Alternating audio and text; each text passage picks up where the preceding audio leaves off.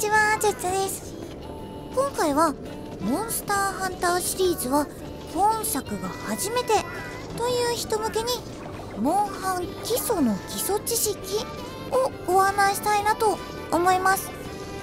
プロハンターさんたちも復習がてらにお付き合いいただければと思います。今回の解説内容は7点です。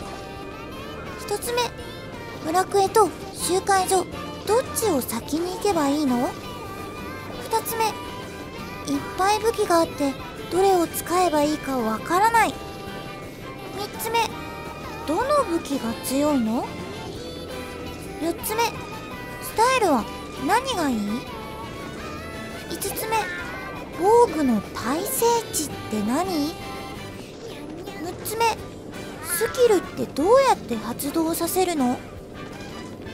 7つ目。最初お金が全然ないんだけど。以上の7点です。では順にお話をさせていただきます。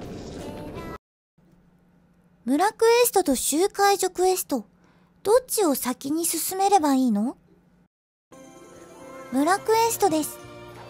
集会所クエストはマルチプレイ用に作られているのでモンスターのヒットポイントが高めの設定になっています。なのでまず村クエストを進めて武器や防具アイテムを整えてから集会所に行くと良いでしょう。いっぱい武器があってどれを使えばいいかわからない。近接系で好きな武器を使いましょう。弓やボウガンなどの遠距離武器は装備の防御力が低く、モンスターから受けるダメージが増加します。また、瓶や矢などを購入しなければならず、ゲーム内マネーがかかり、金策が難しい初期に使用することはおすすめできません。どうしても迷った場合は、盾があり、操作が簡単な体験がおすすめです。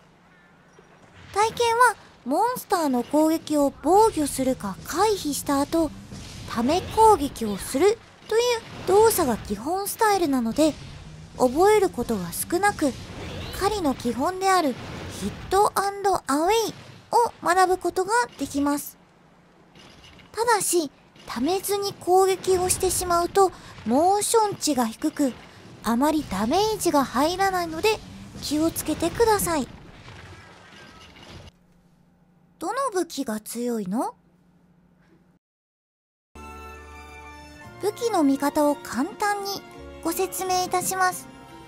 攻撃力、会心率、属性、切れ味ゲージ、スロットとあるんですが、一番初めに注目していただきたいのは、この切れ味ゲージです。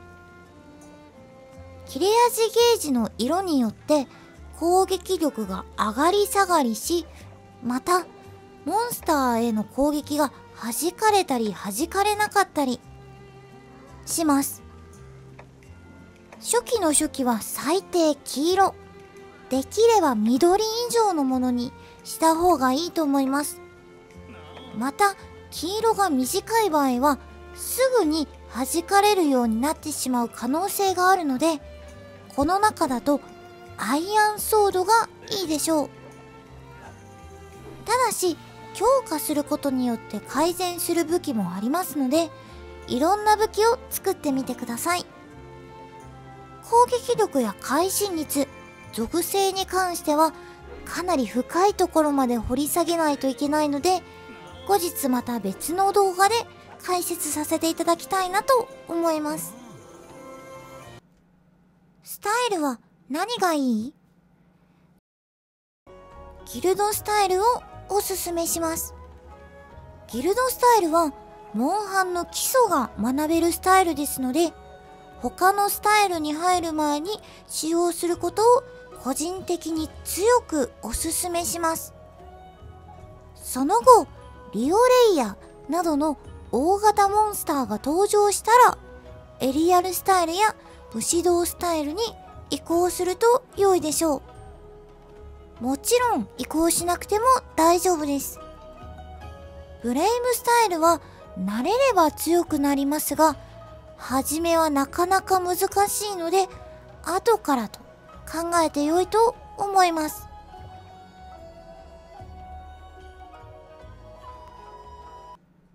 防具の大聖地って？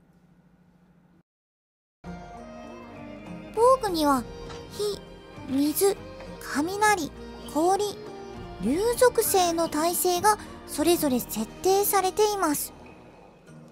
耐性がプラスであれば属性ダメージを軽減。マイナスであれば属性ダメージが増加します。耐性1につき1%のダメージが変動しますので非耐性が10あれば非属性ダメージが10%低下します。雷耐性がマイナス20なら雷属性ダメージが1.2倍に増加してしまいます。例えば非耐性マイナス10になるジャギー一式装備だとイアンクックからの火の玉攻撃が1.1倍になるということです。スキルって何？防具に関して最初は防御力だけで選んでも大丈夫なのですがモンスターハンターシリーズにおいて防具に対して大変重要なのはスキルです。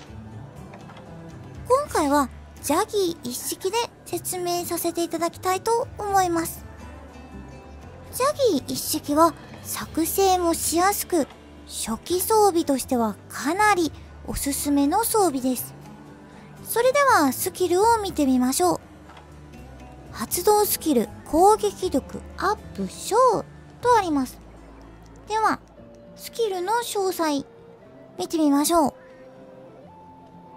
攻撃欄に頭3胴3星4合計10とあります。3たす3たす4は10ということなんですが、合計値が10を超えるとスキルが発動します。もちろん例外もあります。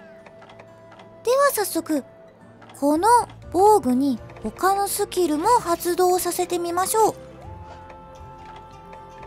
ジャギー装備には腕と腰にスロットが空いております。また何でもいいのでスロットが2つ以上空いているお守りを装備します。合計スロットが6つ空いている状態です。ここに装飾品をはめていきます。今回は研磨樹を作成しスロットにはめてみました。ご覧ください。合計が10になり、高速研磨が発動し、武器を研磨するスピードが格段に上昇しました。また、このように攻撃の弾を詰めると、攻撃がプラス15になり、攻撃力アップ中が発動します。スキルに関してはかなり意識していくと良いでしょう。期の銭稼ぎ。生産アイテム納品系のクエストをおすすめします。素材を集めつつ報酬で高額で販売することができる銅の卵や銀の卵が入手できる上にアイテムを購入したり増やしたりするときに必要な流歴インポイントを入手することができます。ことで今回は以上です。いかがだったでしょうか？わかりにくい点などありましたらコメントでご質問いただければなと思います。また今後もこういった知識系の動画、より掘り下げた動画をどんどん投稿していきたいなと思いますので、ぜひチャンネル登録、またチャンネル登録お済みな方は高評価ボタンのポチをよろしくお願いします。最後までご視聴ありがとうございました。またねバイバーイ